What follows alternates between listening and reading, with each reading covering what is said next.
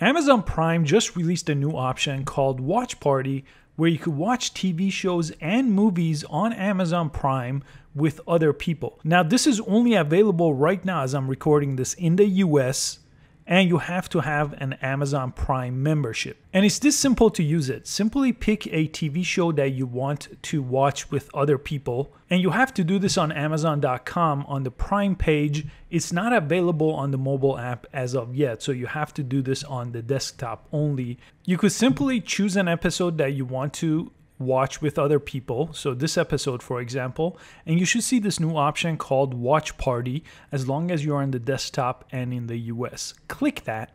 And it brings you to this page. So, chat as this is going to let you chat with other people as you watch a TV show or movie together.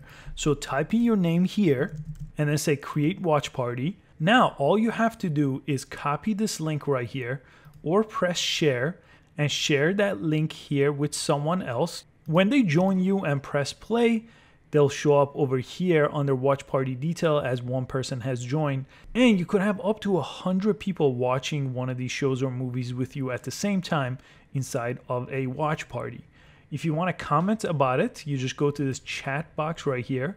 And all the activities including every time the video has been paused and resumed it's going to show up over here. And you could simply type out your message here and press send and it will show here in a text format and you could go ahead and comment about the TV show and movie and have a conversation on the right side of the screen. And I'm sure they'll add more options to the Prime Video Watch Party later. Let me know what you think of Amazon Prime's Watch Party in the comment below this video. Thanks so much for watching and I'll catch you next time.